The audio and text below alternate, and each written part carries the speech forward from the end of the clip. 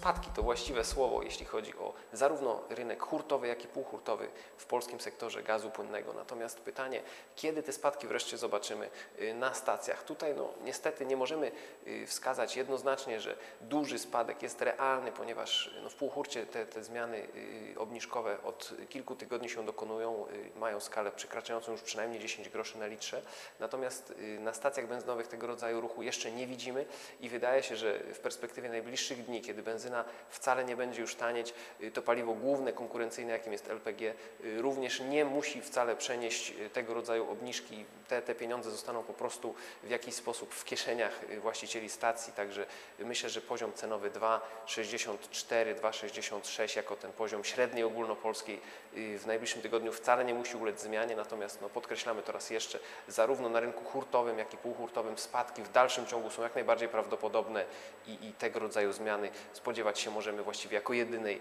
y, w perspektywie najbliższych kilku dni.